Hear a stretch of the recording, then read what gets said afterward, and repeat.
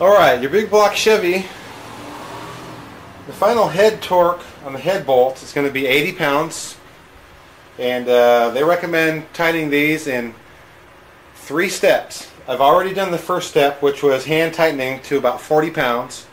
I'm going to go ahead and torque them with a torque wrench again to 60 pounds working from the center out. Then we're going to go back again 80 pounds on the final torque all the way around starting in the center. So we're going to go ahead starting on these center bolts and we're going to work our way out.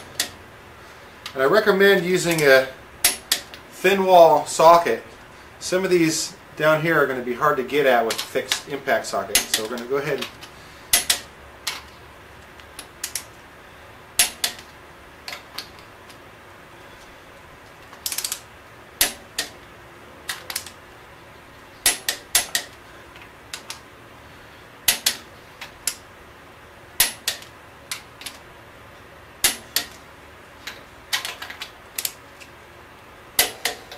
You may notice that I'll go over and double check a lot of these bolts, but there's no big deal.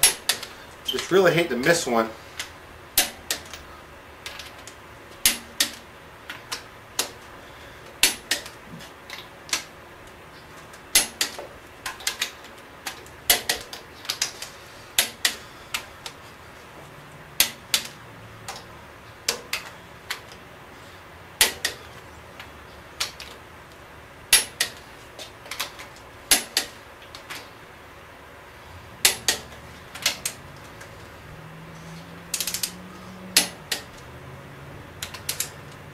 Alright, now we've got all the bolts torqued down to 60 pounds. We're going to move this torque setting up to 80, which will be our final torque.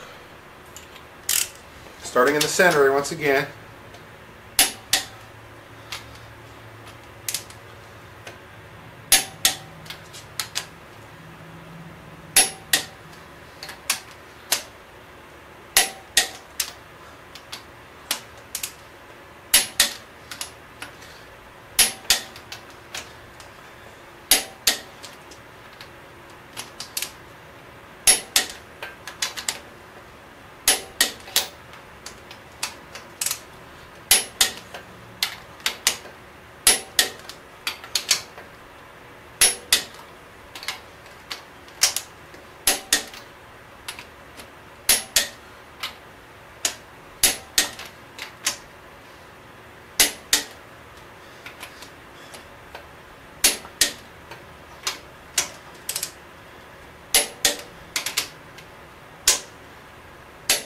That ought to do it. Now we're going to go ahead and double check and just to be safe, I always just, when I double check them, I just start at one end and work my way down. That way there's no confusion on which one you already tried. Check all of these upper cylinder head bolts first. Go right down the line. So we're going to check the next row.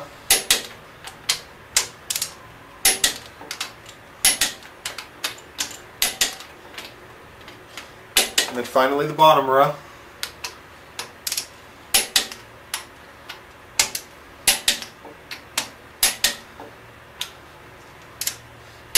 Alright, and that's it.